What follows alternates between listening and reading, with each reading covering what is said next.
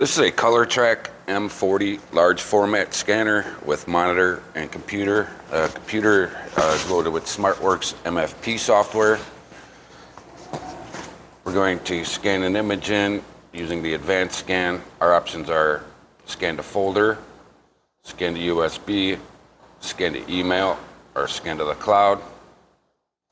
For demonstration purposes, we're going to scan to the computer.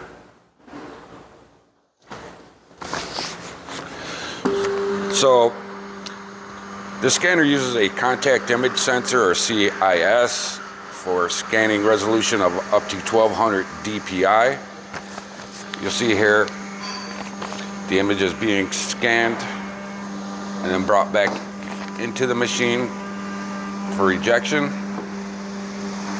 You have the option to have the paper exit out the back or out the front here. And you can see our image was scanned to the computer here.